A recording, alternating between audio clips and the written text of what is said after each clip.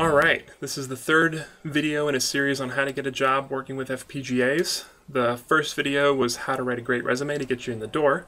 Second video was once you're in the door, how to interview well. Gave you some example questions, things to practice with. And now, how to negotiate for a great salary in a job, a digital design job, working with FPGAs, VHDL, and Verilog. So uh, I'm going to assume the first two steps went really well for you and you have a job offer. Congratulations. You should be excited. You have a job offer. That's great. Um, or if you're in the negotiation phase, this is also something you should check out. Um, so I'll give you some tips, things that I've learned. I've done this a few times from my personal experience and I've read a, I've read a decent amount about it. Here are some things I think would be helpful. First thing, if you currently have a job right now, you're employed, and your new job is asking, hey, how much do you make at your current position? Don't tell them. You don't need to.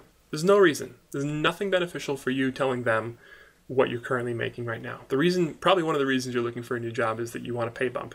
You know, usually um, you can get that by jumping around, by, by job hopping. It's the sad state that we live in, but it's true.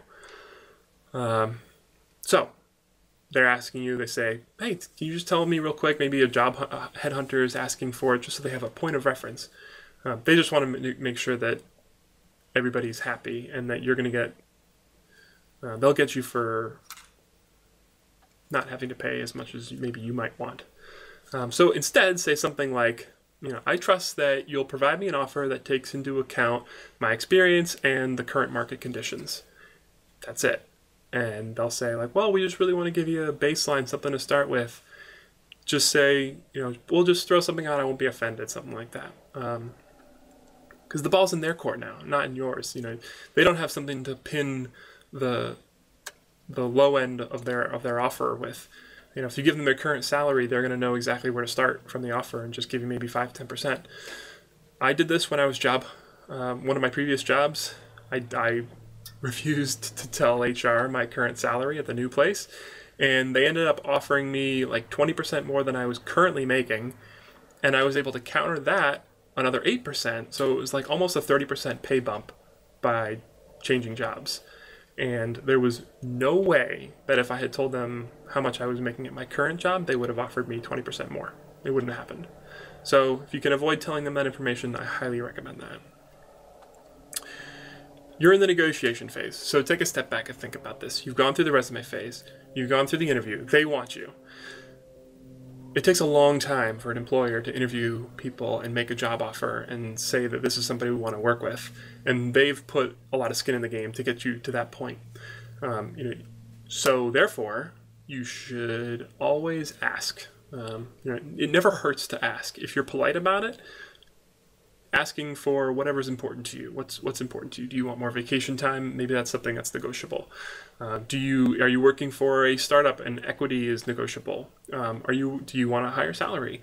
Um, that's a common one. So asking never hurts. Like counter uh, whatever offer you're given.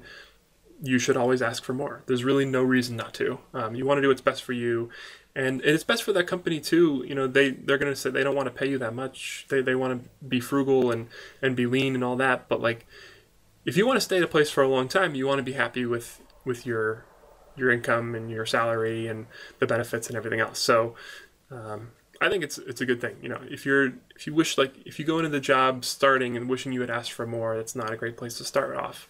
And then you're constantly trying to catch up. Just ask for more in the in the interview process. They're not going to say get out of here ever. And say like, hey, this is I really appreciate your offer. Is there any way you could move on this?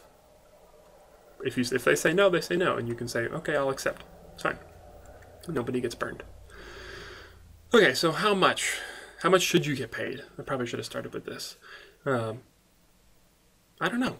I don't know how much you should get paid. It totally depends on how much experience you have, and more than that, where you live. Uh, if you live in Silicon Valley, uh, I would expect a huge difference in salary compared to Mobile, Alabama. Uh, it's just the the um, geographies are just so different, and the pay is so different depending on where you live. It's probably also the cost of living is a lot cheaper in some places, so your salary should reflect not only uh, the hotness of the market, but also the cost of living for that particular market. So if you know if you're if you really have no idea kind of like what to ask for, what is a good salary for your area, for that job, for your experience, check out Glassdoor.com. Um, great website, and you can really get a lot of good information from there.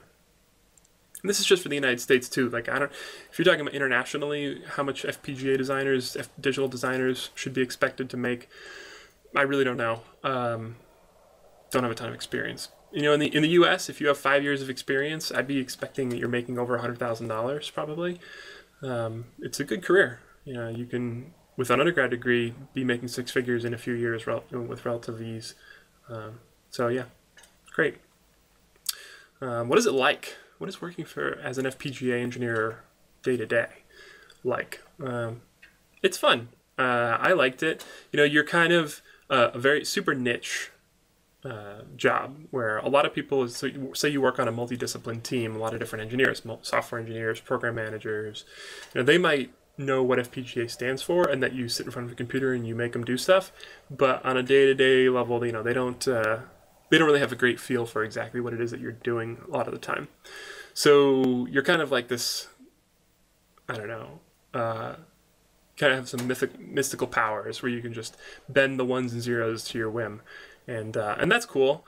So and if you, you also have a lot of control over your own work environment. So if you like tools, don't like tools, you can usually change all that stuff because you're like a small team working on uh, on your particular FPGA design.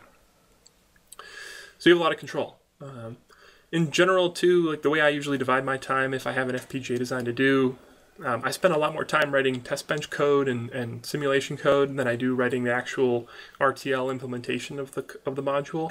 So I would say it's probably 30% of my time I'll spend writing RTL. 50% of the time I'll spend writing test bench code and simulations to exercise that RTL, and then the last 20% maybe I'll be on the physical hardware. But in general, I don't like being on hardware. I don't like having to go in the lab and run tests and set up scope probes and all that stuff. So if I can avoid that, I absolutely will. Um, I'd much rather just sit in front of a computer and write tests.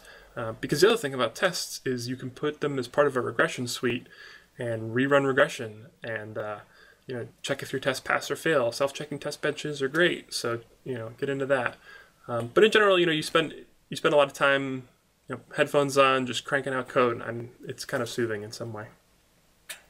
Um, what about working for a startup? Um, I currently work for a startup, and uh, it's definitely different from other large corporations that I've worked for in the past. Um, startups probably don't pay as much as a traditional large company, but you have this lottery ticket in your back pocket, which is equity. Uh, most startups will give you some small portion of ownership in, in uh, stock options in the company. So what that means is that maybe someday in the future, if the company is extremely valuable, those stock options will be extremely valuable more than likely they will be worth nothing because like 90% of startups end up failing. I mean, that's just the sad truth to it. But yours won't, probably.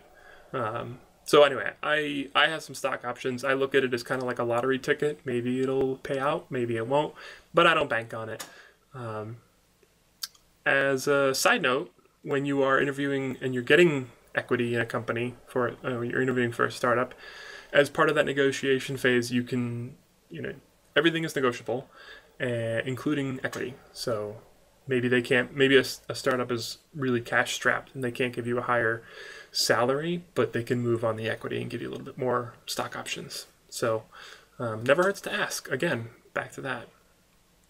Um, those are all the tips I have for how to negotiate for a great job offer.